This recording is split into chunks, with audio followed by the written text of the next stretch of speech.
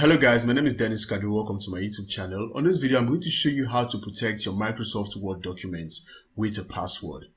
So let's say for instance, you have a document on your computer that is only meant for your eyes. You don't want other persons to see it. You can protect that document with a password.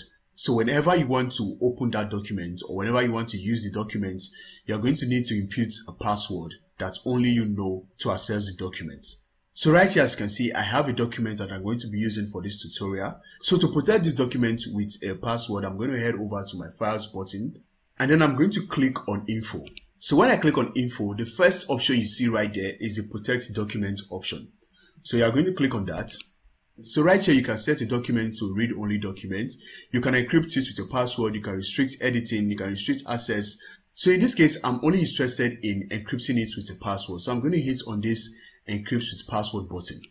So when I do that, it's going to need me to input a password right here. So down here, you have a caution note telling you that if you lose the password that you're about to set on this document, you might not be able or you will not be able to access this document ever again. So make sure that the password that you're going to use to protect your documents is one that you can remember or to be on the safer side, you can write that password somewhere where you can simply, you know, go back to it and remind yourself of it.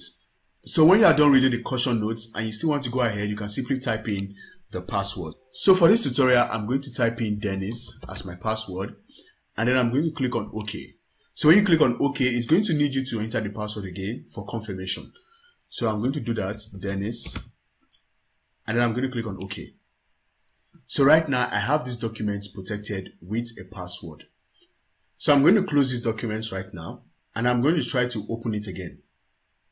So here it is on my desktop. So when I open this document, so as you can see right here, it's asking me to input a password for me to be able to access it. So, so I'm going to input the password and I'm going to click on OK.